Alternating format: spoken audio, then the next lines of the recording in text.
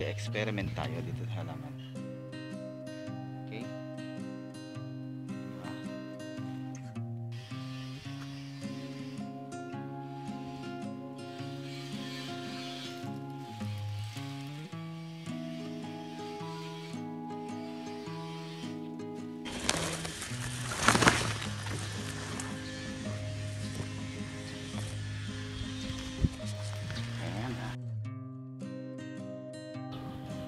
Ito mga ka-TV.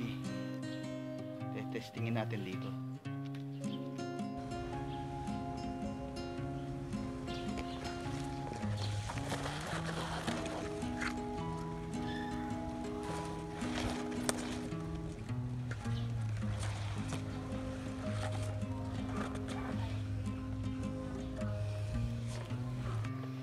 Finish. Dito tetestingin natin mga ka-TV. Mukhang maganda dito. Game. Cellphone.